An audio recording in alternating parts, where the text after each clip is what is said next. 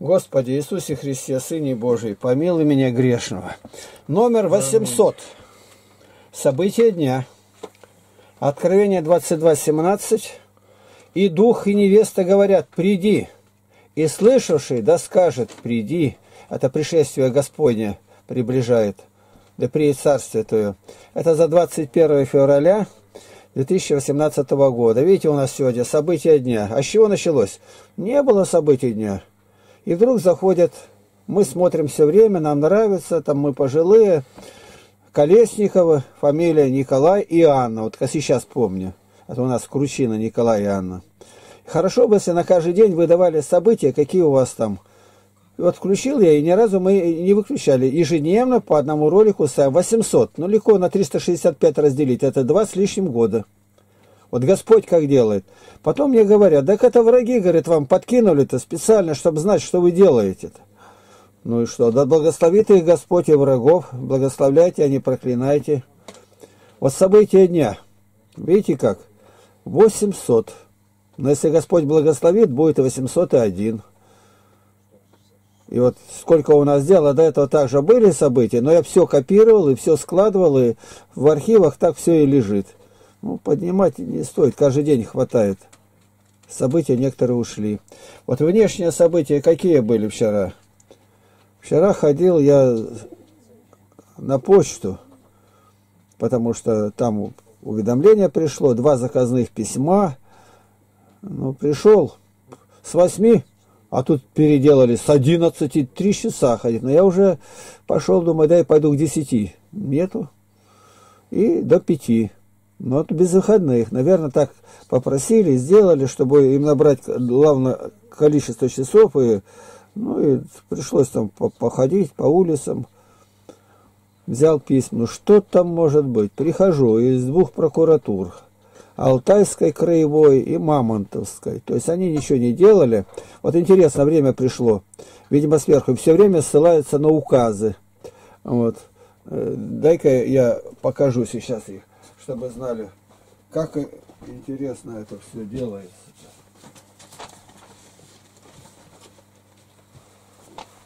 Так, сейчас это время, уведомление. Ты сейчас возьми в руки и его приподними маленечко сюда. Вот смотрите, ничего еще не делается начинает вот это там э, стукачество заложили, то есть преступники выступают. Для того власти дана, чтобы она могла защищать нас от безумия людей. Павел смело обратился, племянника послал, заложил Павел этого, заложил. 40 киллеров заложил их. Ну, страна преступников, ГУЛАГовская. Вот главное управление Министерства внутренних дел по Российской Федерации по Алтайскому краю. Вот оно как выглядит показать. Прямо так и делать, чтобы оно прямо было. Там ничего, собственно, и нету. Но только уведомляют, какие принимают действия. Вот пришел один лист. Ну ладно, главное управление. Вторая пришла. Администрация губернатора Алтайского края. Уведомление. Сообщаем, что ваше обращение зарегистрировано под номер тогда-то, номер такой-то. И направлено на рассмотрение. Исполнитель кто? Главное управление Министерства внутренних дел Российской Федерации по Алтайскому краю. Горбатенко. Второе пришло. Вторая бумага. Еще ничего нету. Это власти так реагируют. А власти никакой нету. Вот, пожалуйста, есть. Они ничего еще не сделали, но только уведомляют о движении документов. Третье приходит то. Аппарат, полномочный представитель президентской президента Российской Федерации на Сибирскому федеральному округу. Ну, все это написано. Заболотный, федеральный инспектор по Алтайскому краю. До этого я их всех знал. Шуба, там был другой Виктор еще, я очень хорошо знал, Сергеевич Титов, кажется. Вот. Это ничего нет, только уведомляют.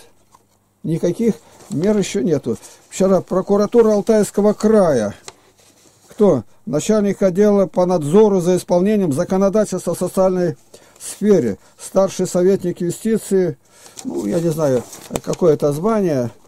старший советник юстиции. Это, смотрите, пять бумаг уже пришло, но ничего еще конкретного нету, но они уведомляют только. Вот это меня особенно удивляет. Так, прокуратура Мамонтовского района. Тут прямо показано территория, регламентирующая вопросы миграции и порядка пребывания на территории Российской Федерации гражданином Украины Малышом Романом и так далее. Я ничего не скрываю, показываю. Пожалуйста. Государственный закон что-то требует, нет, ничего нету. Нету. А когда случится несчастье, люди-то, которые что-то бурчат, они ничего не знают. Это мы 27 лет положили на то, чтобы основать деревню, начать строить. Это очень трудно было, везде противление. И вдруг чужой человек, все на разрушение. Священник не авторитет, а у нас в уставе это написано. Куда бы ни поехал, священнику сказать, он молится. Здесь ничего нет, он все попрал. И мы обязаны как? Чуждый человек приехал, и ну, какие-то меры должны быть, настраивать друг против друга вся власть сатанинская, антихристова, ну и так далее. Ну, мы обязаны это, потому что это наше детище деревня. А вот теперь вопрос стоит, а, а для чего? Для того, чтобы нас не обвинили. Когда а, а, нас все время держат на учете, приезжает уголовный розыск, все время проверяет. И все время спрашивают, а это кто строится, а это кто? А вот теперь кто? А у вас человек живет, и вы знали, вы скрывали. Это, понимаете, нам такая беда. А он все время батюшке шесть раз только батюшка говорил, ну когда ты будешь ну, гражданство-то получать, а надо ехать и поправлять документы-то. И он обманывал, обманывал. Я подходил ему на, не шесть, а десять раз.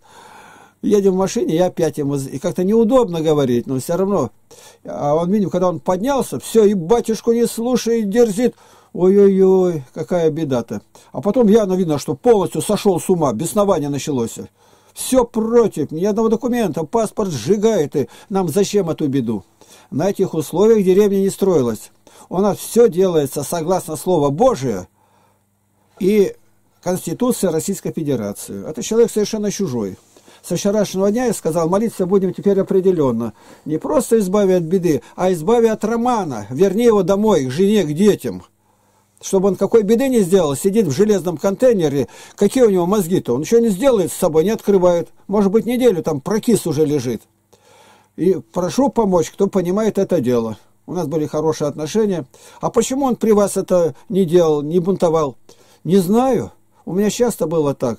Посылают к такому человеку, там говорят, и вас он принял? Да. И хорошо было? Да. Я считаю, нейтрализовал Господь, потому что все время молились, мы были рядом. И он даже, сатана, ни хвост, ни рога не показывал. Как только уехал, вот это пошло. Я отношу только к тому, милость Божия была.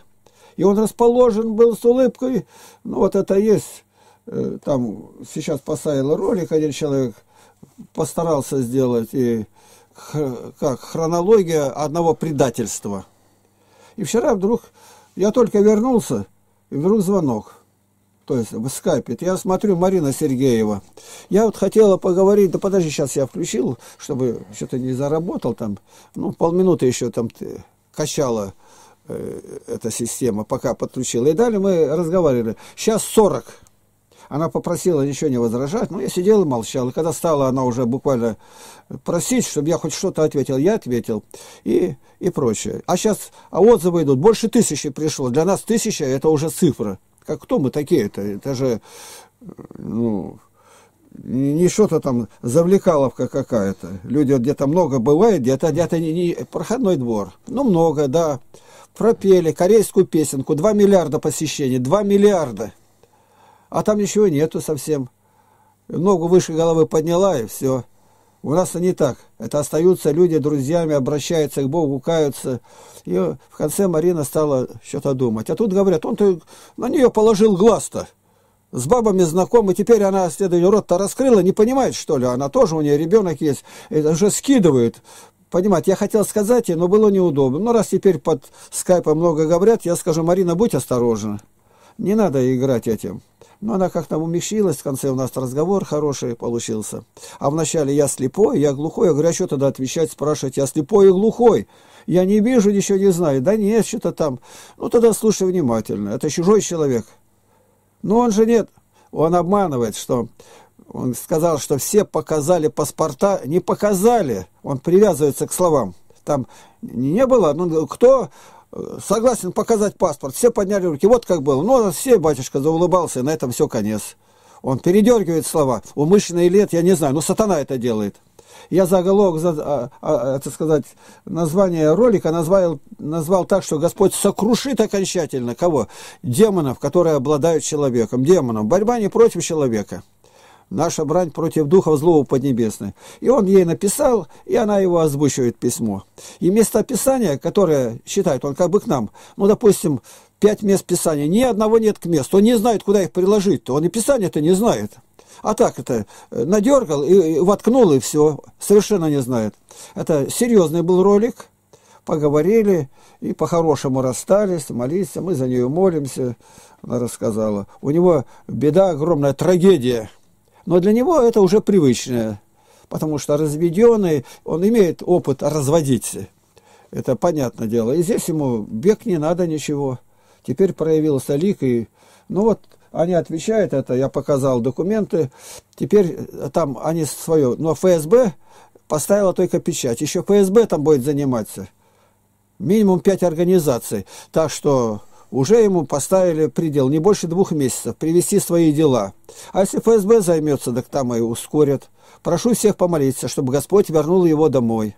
Здесь ему не место, и он не уживется ни под каким видом.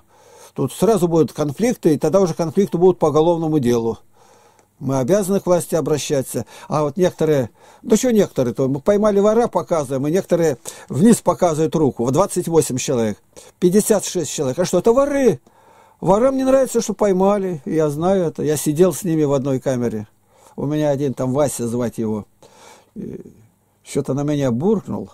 А, когда я зашел в камеру, это было в Кемерово, а, ну, кто такой? Ну, я зашел только. Мир дома всему перекрестился. Ну, зашевелилась вся камера. Камера большая. Там, ну, человек 80, наверное. Подошел так солидный человек. А кто вы будете, как называется, старший, смотрящий или пахан? Я сказал, так, это статья 190 прим, это что-то милиционера зарезали, наверное. Нет, это 190 статья, а у меня 190 прим.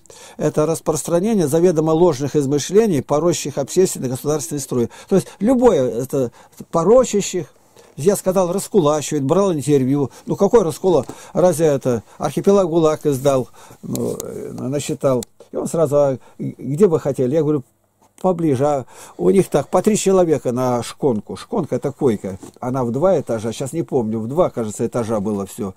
Ну и один спит, другой ходит. И вот так, один ночью, другие днем. Все занято. Некоторые, которые там порщины, там петухи называют, и, ну, пария такая. Их не разрешают ни со стола ничего брать, ни табак, и только около туалета лежать. И там такие, видно, есть. Он меня подошел, говорит, что вам где бы хотелось, на какой койке? А дым стоит. Я говорю, ближе к окну, а там жалюзи, ничего не видно, только слышно, как стрижи летают и кричат. Такая тоска на сердце. Он тогда подошел так, так долой, одного скинул. Ты тоже куришь наверху? Так, тоже уходи. И две шконки мне сразу дали. Что, я просил их? Нет. А когда за, зашли только, в, ну, привезли, и уже, ну, скажем, надо дать матрас, я ни слова еще не говорил, а там баландер называется, который осужденный, ну и работает при тюрьме. Ну, такой мягкий характер, видимо, надежда на их какая-то есть. Так, отец, э, никакого матраса ты не получишь, ты отойди в сторонку-то. Я говорю, а почему? Ну, отойди, не разговаривай. Ну, я отошел в сторонку, и он всех пропустил, потом, отец, я тебя ждал. Знаешь, сколько я тебя ждал тут? Уже третий год примерно работаю. Я тебя ждал. А как вы знали? Да никак. Ты же верующий, да, молишься, да. Меня Евгений звать, он начинает. Я специально один матрас тут загнал, спрятал-то, и просто не дают, просто не хрустящие буквально, как в ресторане дают, или-то в гостинице-то. Я для вас готовил. Вот как Бог встречает. А вывели меня, куда же вас поместить-то? Я говорю, где нету табака? Меня разводной там ведет. Всех уже развели, я один. Я говорю, где табака нет? Табака нет. Я ведут двое. А что, говорит? Женщины ведут-то. А вот это-то говорит, где там штрафная у них, там ШИЗО. И он один там будет. Ну и хорошо, зашли. А я говорю, тут что-то душно. Так это, Душно, она побежала маленько, пойдя приходит, длинная швабра, а вверху там застеклено, застеклено на зиму было, и решетка. Она туда раз этой шваброй-то два раза стукнула, стекла посыпались, ветер-то ударил, а то, ой, как хорошо-то. Ну и все, отец, молись за нас. Меня звать Надя, меня Людмила там. И... Вот как Бог делает, путь пролагает. Это я просто вспоминаю, говорю, как Бог это делает. И так и здесь. Поймали вора, они недовольны. У них своровали? Нет. А почему не он воровал? Вор, я и обязан его вора сдать, это и Библия об этом говорит. А куда же его девать-то, когда у, него, у нас все, и магниты там снимают, и машина разбирает, по деревне прошли все решетки, и газовые баллоны, у батюшки канистру с бензином, у Игоря с 300 литров. Да надо поговорить было, как с Романом, ему 40 лет. О чем с ним говорить-то? Он все знает. Это сидят там, слюни распускают, у них ничего нету, тролли. Не о чем говорить, все переговорено. Батюшка говорит, на собрании он дерзит всем. То есть он разрушитель. Бесноватый и ничего не слышит. Я это все Марине вчера рассказал. Вот так. Такой был необычный день. Ну, а вечером, это уже среда была, третья часть э, канона Андрея Критского у нас по-русски на три ступени. На просьбу «Помилуй меня, Боже», припев. На вторую это Э, благодарственный, благодарим Тебя, Христе Боже наш. И третье словословие, слава Тебе, Боже наш, слава Тебе. Вот какой был интересный день. Один день. И далее. Здравствуйте, дорогой наш Игнатий Тихонович. Пишу по просьбе Екатерине Голубевой. Вчера она от, отправляла вам сообщение с просьбой отложить книги. Но сегодня не может прочитать ответ, так как отключен интернет, и неизвестно, когда его работа возобновится. В городе, притом в городе. Если вам удобно, пожалуйста, пришлите мне ваш ответ для нее, я передам. Спаси Христос. Игнатий Лапкин, заказ принят, пишет. Вот я отвечаю, заказ принят. Все. А, а она что просит? Просит трехтомник для кого-то и семь экземпляров к истинному православию и восемнадцатый том зеленый у нас открытым оком о э, Коране, о мусульманах, ну и все такое. Я стал, меня заинтересовало, интересно, а сколько же роликов у кого? Ну, видеоролики, которые стоят, много выступают. Ну, я на 20 февраля стал считать, зашел и нашел несколько, шесть человек. А остальные там непонятно. Считай. Ткачев отец Андреева, 1815. То есть у него фактически больше всех. 1815 роликов. Дальше. Каскун отец Максим, 248. Осипов Алексей Ильич, 1736. Вот, почти идут где-то в догонку. А, дальше. Кураев отец Андрей, 350. О. Головин отец Владимир, 4241. 1241 за тысячу. И Стерлигова Германа посмотрел. Стерлигов Герман 423. Дальше. Итого от шести знатных 5813. А зачем это нужно? Ну, узнать как-то, мне все это интересует. Количество, сколько до Луны, сколько можно человеку э, в космос. У меня данные, я люблю математику-то. Ну и я сравниваю. У меня 9900. То есть в два раза больше, чем у этих знатных. Как? Потому что у нас всесторонняя вся жизнь показывается. 9900 на сегодняшний, вот, ну, на 22 теперь. Дальше. Меня интересует другая статистика. Так, сколько стихотворений было написано профессиональными поэтами за всю их жизнь? Это установить ныне совершенно то, точно почти невозможно, но приблизительные данные все же есть. Вот данные на 10 поэтов. То есть я это сделал, потом в интернет заказал, попросил Никиту заниматься найти. Ну, данные почти точные. Так, значит, Пушкин 795, Лермонтов 400, Некрасов 546, Блок 260, Есенин 450, Гамзатов 53. Меня удивило, Гамзатов, нигде другой цифры нет, но неужели 53 у него? Или непонятные? Но другие там такие, но прозой. Евтушенко 178. Тоже мне не верится Евтушенко. Такой плодовитый долго жил. Никакой данной нет написано. Все в интернете. Не так, значит не так. Крылов Иван Андреевич. 205. 205 Басин. Никитин 90. Кто это? Знаешь, как его звать? Иван Савич. Угу. Рождественский 136. Роберт Рождественский 136. Итого? Итого, 3113 стихов от 10 поэтов за всю их жизнь. Я просто сравниваю. Я смотрю, какие стихотворения. Бывает там даже поэма, но в основном 3-4 за 5 куплетов почти не переходит. Так кратко что-то увидел он. Ну, скинул. Тебя, твой трон, я ненавижу, твою погибель, смерть детей жестокой радостью вижу. Пушкин сказал, два куплета, три куплета. Но я тоже сравниваю. Плодовитость, посмотреть. Лермонтов 27 лет жил. Пушкин 795. Это 795, а жил 37 лет. Но как может быть меньше Евтушенко, когда он 80 лет прожил? Вот это данное мне, ну, ну больше 795 нету никого. Ну, Пушкин-то был очень плодовитый. Но там стихотворение прям по куплету. Это стихотворение все равно считается. А мне спрашивают, ну вот что, поэт, я не поэт. Но у меня все стихотворения по 9 куплетов, 36 строчек. И их 3467, то есть больше, чем 7 вместе взятые 10 поэтов. Это за 9 лет только. А как? Не знаю. Я их стихами не называю, но мысль заложена такая, что сегодня сам с трудом э, могу до конца в глубину их пройти. Столько там в них втиснуто.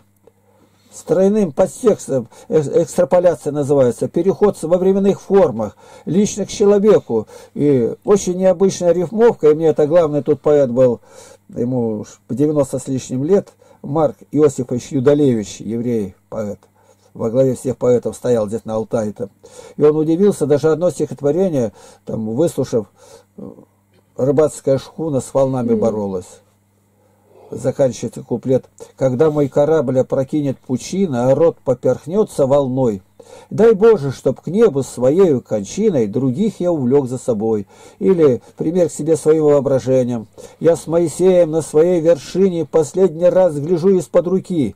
Враги с собаками, с биноклями, в машине мой след вынюхивает у кустов реки. Моя погоня. Гнались до упаду я отошел, не досягаем вам. Прощай, земля, азарт, закон ограда, мой труд следы, читайте по слогам. Я успевал на каждом повороте засеять поле, застолбить межу. Со златоустом путь житейный пройден, с той стороны земли на все гляжу. А то выходит, ну, начинают люди там спрашивать, а почему именно берете на себя эту миссию? Я не беру, она на меня возложена. Я отрекался, как э, Еремия говорит, я молод и прочее. Но Господь взял, говорится, за шиворот, как щенка сказал, ты иди и скажи. Я могу сегодня спросить, кто писал обличительные письма в ООН? Кто писал генеральным секретарям, какие были? Кто писал патриархам, ни одного не пропуская? А потом всем архиереям. Ну вот найдите, тогда мы будем с ним разговаривать на равных. А я все время писал. Меня таскали, били, сажали. Поэтому те-то, которые нападают, кричат, у них ничего нету. И они, ну, крикнул там, ну, бросил там, чужую блеботину Романа, говорит, собрал и бросаешь. Ну, а зачем? Моя колокольня стоит, ее далеко видно. Вот. И вот я дальше пишу. Не могли бы ли вы помочь и проверить, точно ли эти цифры? И никто точно не ответил, никто. Ну, я разослал примерно 50 человек. Иван Г. Здравствуйте, Игнатий. Я почему Г? Его фамилия, все есть. Я не, не говорю, а то там Олег, Сват, там другие заходят и по этим нападают на них и начинают э, тянуть, то есть порочить меня, а у них хорошо и перетягивать к себе.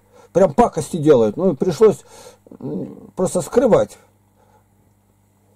Он пишет.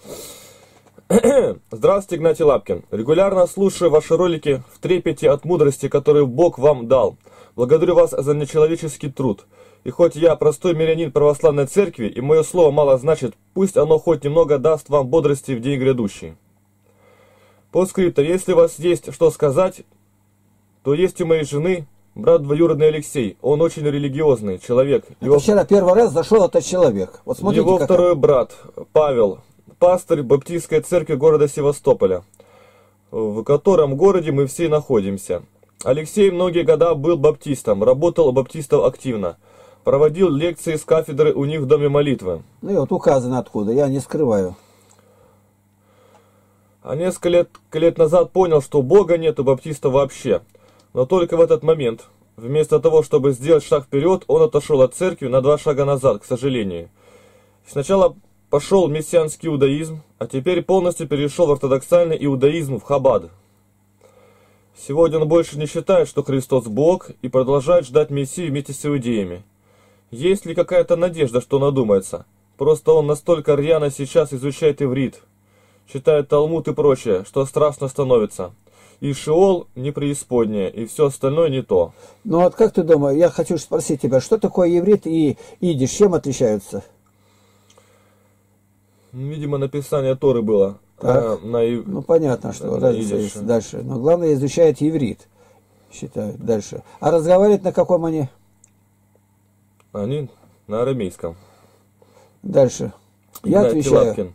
Все в Божьей руке, надежды вовсе мало, потому что сказано, Евреям 10.25. Не будем оставлять собрание своего, как есть у некоторых обычай. Но видите, я А. отвечаю, как не я отвечаю, это Господь ему отвечает. Не будем оставлять собрание своего, как есть у некоторых обычай, но будем увещевать друг друга, и тем более, чем более усматриваете приближение дня оного. Если, ибо если мы, получив познание истины, произвольно грешим, то не остается более жертвы за грехи, но некое страшное ожидание суда и ярость огня готово пожрать противников. Если отвергшийся закона Моисеева при двух или трех свидетелях без милосердия наказывается смертью, то сколь тягчайшему, думайте, наказанием повинен будет тот, кто попирает Сына Божия и не почитает за святыню кровь завета, которую освящен, и духа благодати оскорбляет. Мы знаем того, кто сказал, «У меня отмщение, я вас дам, говорит Господь». И еще, «Господь будет судить народ свой». Страшно впасть в руки Бога живого. То есть это ответ не мой. Павел говорит, приводит слова Писания. Можно ли этого Павла там вернуть? Вот я отвечаю, сами судите. Дальше. Евреям 6.4. «Ибо невозможно однажды просвещенных и вкусивших дара небесного и соделавшихся причастниками Духа Святого, и вкусивших благого глагола Божия и сил будущего века, и отпадших, опять обновлять покаянием, когда они снова рас- распинают себе Сына Божия и ругаются То Ему». есть невозможно. А это, конечно, богохульник. Ой, Не знаю еще, еще признает ли слово Божие он. Дальше. Да, покаяние имеется в виду повторное крещение в толковании к этому стиху. Ну хоть какое. Покаяние написано. Мы не будем тут вставлять толкование даже. Ну ладно. Обновлять покаяние. А покаяние совмещалось с крещением. Оно не врозь было. Тогда со- совпадает.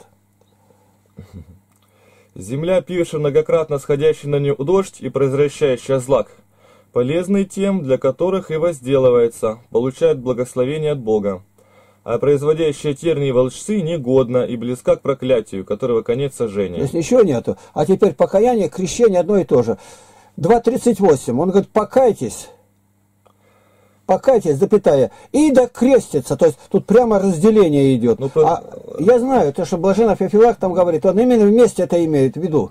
А не просто одно покаяние, это означает крещение. Нет, он говорит, что как раз, да не будет, что покаяние нево- невозможно. Покаяние возможно, имеется в виду повторное крещение, то есть там предыдущие стихи имеется вставлять. Невозможно. Прямо говорит. Почему? Дальше дает ответ, сравнение. Земля, пившая многократно сходящий на нее дождь, то есть он был верующий, причащался, и произвращающая злак, полезный тем, для которых возделывается, получает благословение от Бога. А произвращающая терня, то есть впереди, что он отступил теперь, что она? Негодно близка к проклятию, которого конец сожжения. Тут явно, явно показывается, что не принимается. Даже и покаяния никакого нету. И впереди об этом же говорится, что ну нет жертвы за грех, жертвы нет. А если жертвы нет, то ничего и нету. Мы можем понимать как угодно, но я беру текст, ничего не добавляя. Вот она полезна тем, что делала, а дальше ничего нет. От Паши невозможно обновлять покаянием. Я Это- не буду каждому человеку, кому считаю, скажу, нет, ты имей в виду другое. Я могу объяснить, что покаяние и крещение, а они вместе идут. Но здесь э, говорится о покаянии. Почему бы прямо не поставить не- крещение? Я просто говорю, как написано в толковании Но конкретно. толкование не может быть выше самого сущего. Не надо. Толкованию мы не можем дать большего значения, чем самой Библии. Это уже далеко зашло. Дальше. Я ему пишу. Это как раз о жидовствующих, ждущих Антихриста. Христос истинный Бог. Теперь он говорит, Бога, Христа не признает Богом. Я говорю, Бог Римлянам 9.5. Их и отцы, и от них Христос по плоти, сущий над всем Бог. Ну, кто он здесь? Благословенный Нет, во Бог веки. Аминь. Это я разделил специально, чтобы видно было. Сущий над всем Бог. Речь идет о Христе. Я-то, я-то верю, что Христос Бог. вот При дальше. тут? Дальше сейчас найдем. 1 Иоанна 5.20. Знаем также, что Сын Божий пришел и дал нам свет и разум, да познаем Бога истинного. И да будем в истинном Сыне Его Иисусе Христе. Все есть истинный Бог и жизнь вечная. Это кто? О ком речь идет? Все есть истинный Бог. Иисус Христос. А Христос, истинный Бог. Дальше Тимофею. Третье место. 16 стих. И беспрекословно великое благочестие тайна. Бог явился во плоти. О ком речь? Иисус Христос. Христос, Бог. Третий раз прямо Бог. Никакие тут свидетели сторожевой башни не могут подставить другое слово. Поэтому они написали другую книгу и все эти слова выкинули. Дальше оправдал себя в духе, показал себя ангелом, проповедан в народах, принят верой в мире, вознесся во славе. О ком говорится? О Христе. О Христе, значит, вот тебе четыре. Дальше. Колоссянам 1.16. «Ибо им создано все, что на небесах и что на земле, видимое и невидимое, престолы ли, господство ли, начальство ли, власти ли, все им для него создано». Им создано, значит, а создано кто? Создал Бог, конечно. Дальше. Евреям 1.8.13. «А сыне, престол твой Боже во век века, жезл царства твоего, жезл правоты». Но Слово Божие говорит о чем? Кто он? Боже написано, Бог. Ну, Бог, значит, Бог. Боже, это у нас э, считается 7, 6 падежей. Это именительный, родительный, дательный, винительный. Это творительный, предложенный. А это обращение. Боже. Так, Исайя 7.14. «Итак, сам Господь даст вам знамение, се дева во чреве приимет и родит сына, и нарекут имя ему Эммануил». Но Эммануил еще не знаем. Ну, дальше.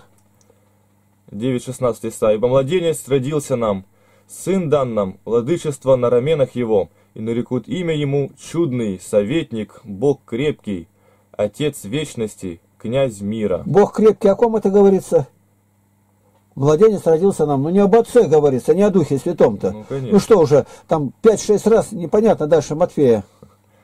Матфея Слава Иисусу Христу!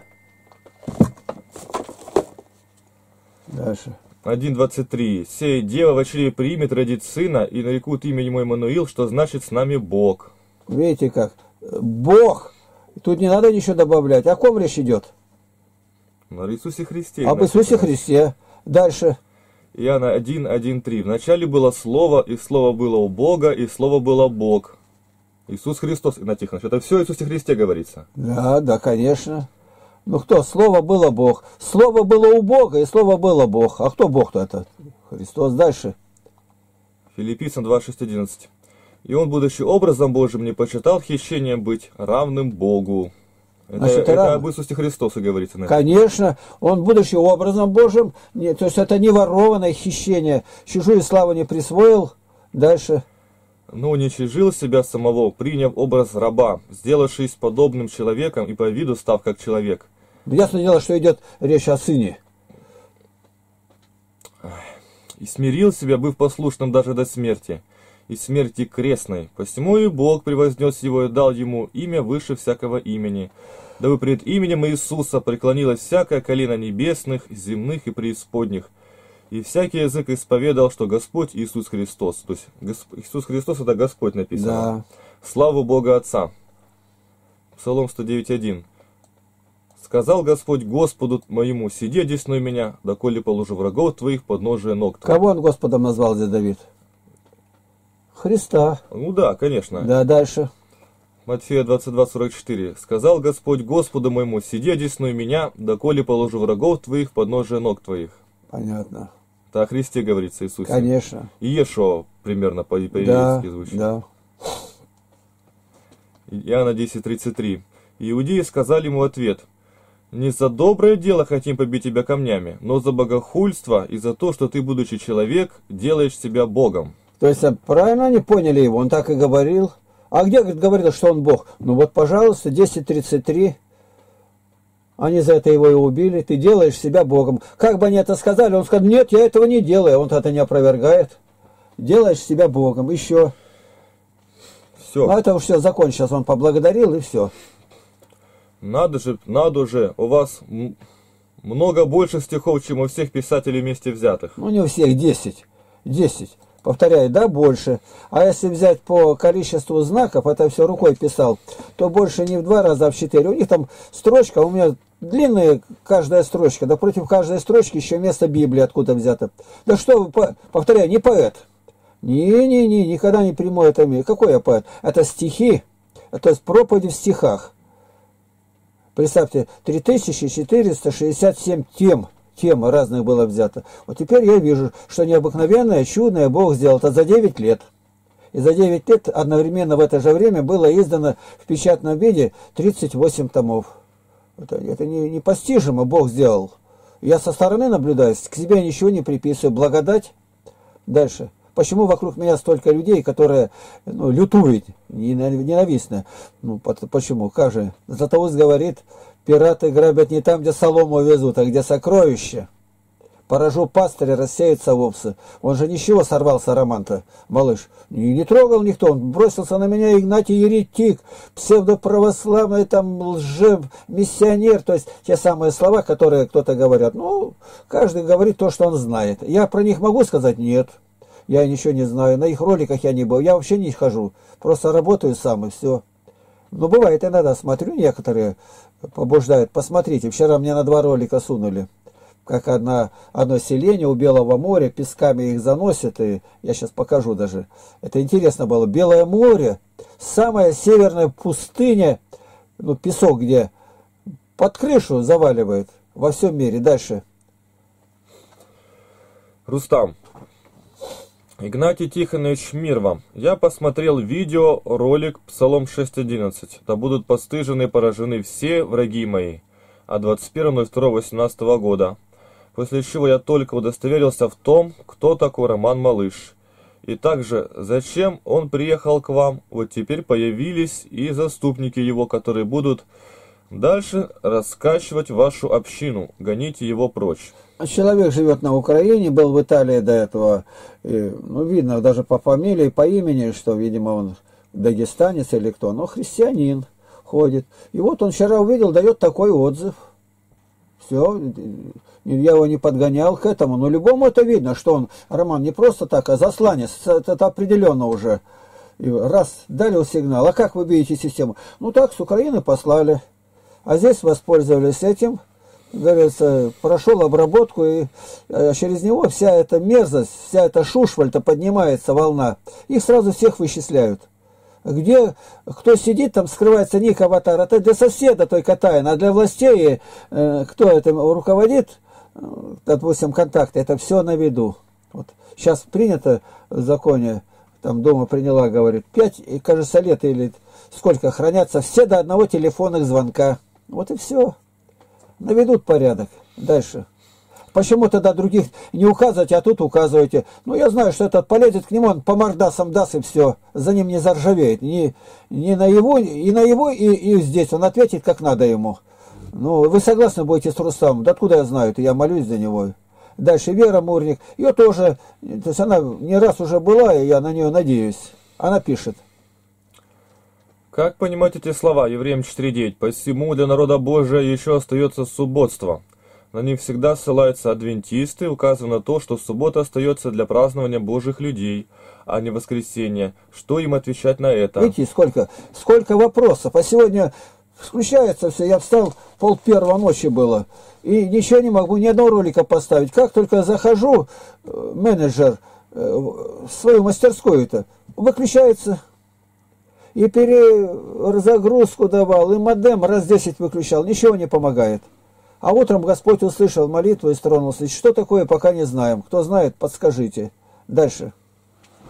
Я отвечаю. И весь закон ветхий возвышен Христом до уровня пренебесного. В какой день была образована Церковь Христова?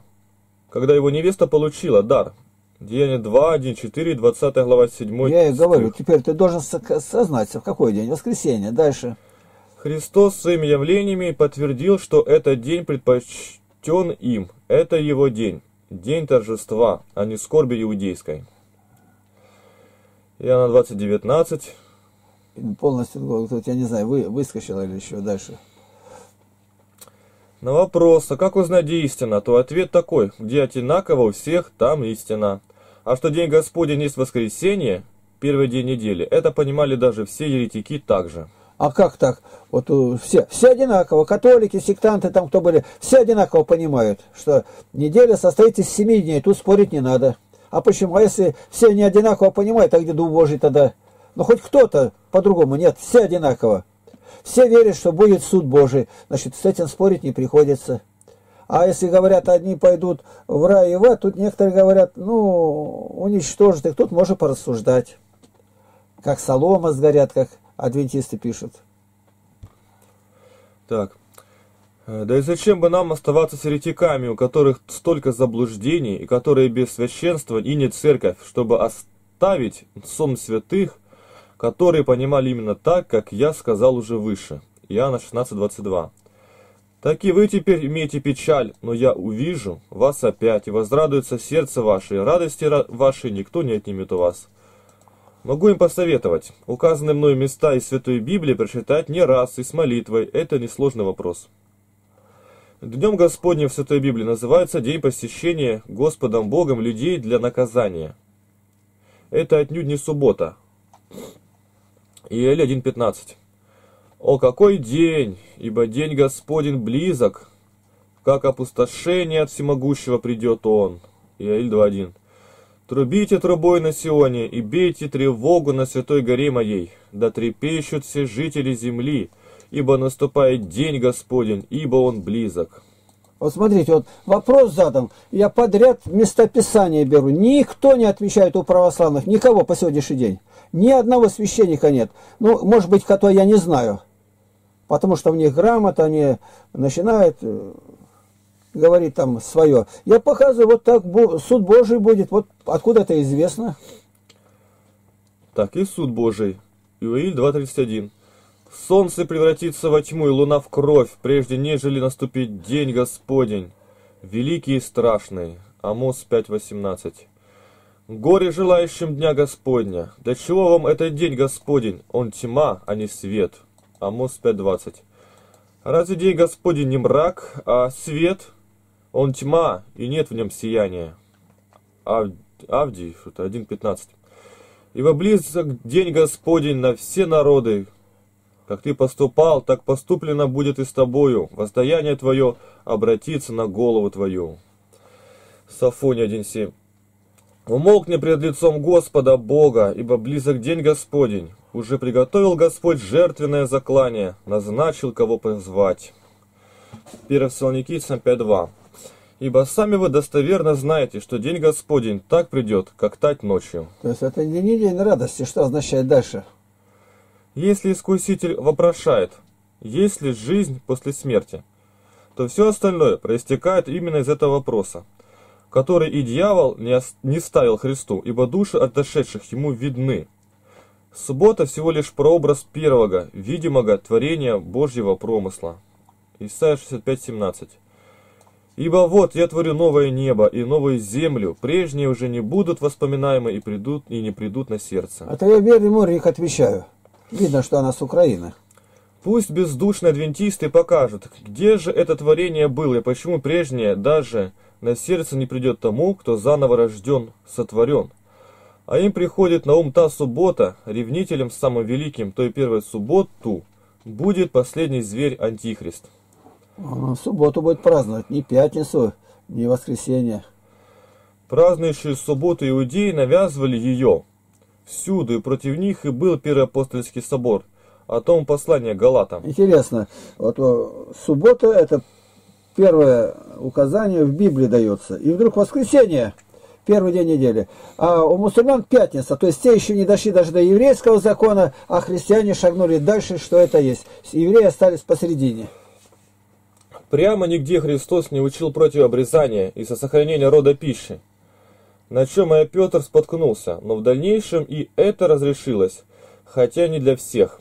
Адвентисты и здесь все еще держатся за Левитом 11 глава. То есть христианам разрешено любую пищу есть, с благодарением молитвы. Ни одна секта не содержит в корне своего названия ад, как адвентисты. И не потому ли отрицает существование ада, или им про это не, нет надобности знать. И конец нового. Покой наступил в первый день недели. Какое же еще нужно доказательство, если мы верим в новое творение? В Святой Библии нигде прямо не говорится, что у женщины есть душа, а адвентисты, как и садуки, отрицают душу. Заповеди Божии. О заповедях блаженств митрополит Кирилл Гундяев. Что-то. Заповеди Божии епископ Александр Миллиант. Значит, заповеди Божьей повседневной жизни Ермонах Серафим Параманов. Десять Божьих заповедей святитель Николай Сербских. Быть христианином, митрополит Сурожский Антоний. То есть я даю данные, где ты можешь прочитать это дело. В интернете все это. Зачем жить по заповедям? Или три заблуждения христианской жизни. Юрий Максимов. Заповеди. Энциклопедия изречений святых отцов. Толкование заповедей блаженства святитель Николай Сербский. Деколог или 10 заповедей протерей Александр Мень. Вот так. Сергей Игнатов. Мир вам. Песня «Залетела душа в тело» со смыслом. Вот человек чувствует в себе тело и душу, а не является полным хозяином ни того, ни другого. Но влиять на них своим разумом, питаемым Словом Божьим, может и обязан – чтобы телесные похоти и душевное состояние человека были под контролем разума, дарованного Господом. Да, я сейчас сказал, тут новый смотрел ролик, это, вот, это вчера выставил, где-то тут есть. А, это спрашивали, от кого там у священника, ну, Фатимская, Божья Матерь. Я говорю, книга к истинному православию, вот она где, Гордость папства, страница такая-то, Человек-убийство, ложь Ватикана, статья и Фатимская весть, трагедия или надежда. Где это? Ну вот где, к истине, народ и прочее. И вот Шойна. Шой, да, рыбацкое село, умирающее под песком. От автора неизвестной России. И вот здесь найдете все. Вот. Вчера я посмотрел, никогда этого раньше не было. Песок, дюны передвигает, море там промышленная добыча была рыбы, и все опустело, и люди живут прям под крышу, под самый песок. Дома нельзя чистить, а другие все время песок чистят и чистят около дивана в избе, он оттуда вытаскивает, ну там может быть ведер 10 песка надуло. Очень интересно. И они держатся. А у нас такая земля, никакого песка этого нет, но за песок деньги платим, привозим. И все что-то недовольны, недовольны, да, ну, срам один. Теперь хочу показать наши ресурсы.